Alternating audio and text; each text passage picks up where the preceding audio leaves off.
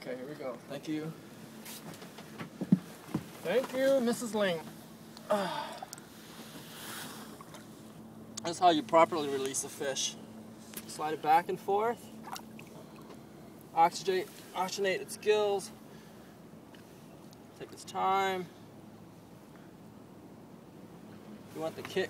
You want the fish to kick away by itself.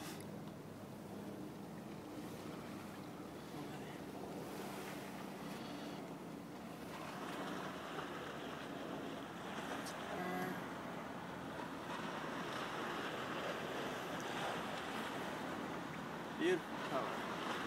That's what they make fish and chips out of. Ah, there you go. That was a proper release. Nice job. Thanks, Paul.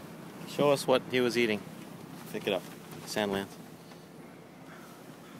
That's that's one of the smaller fish that they feed on. Smaller sand lance. Yeah. Let me get a photo of that. Hold on.